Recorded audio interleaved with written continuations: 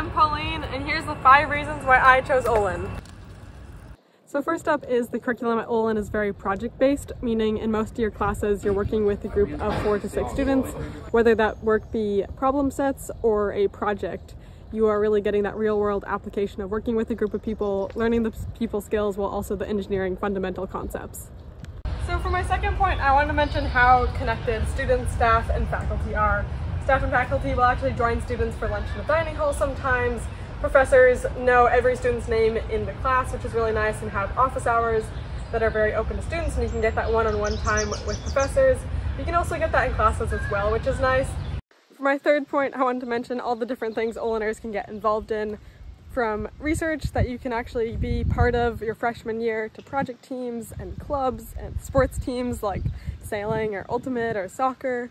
There's a whole wide variety of things and feel free to reach out or check the website to see all the list of clubs and activities. So for my fourth point, I want to mention the collaboration that Olin has with Babson College and Wellesley College.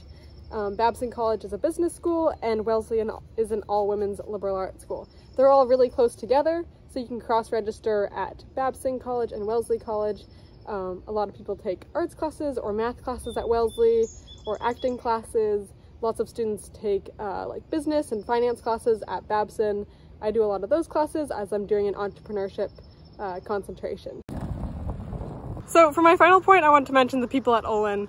Yes, it is an all engineering school, but you do a concentration like in arts, humanities, social sciences, entrepreneurship, and the people at Olin are just well-rounded engineers. They learn the people skills, and the gender ratio at Olin is like a 50-50 about sorry, I'm like super winded from this bike ride.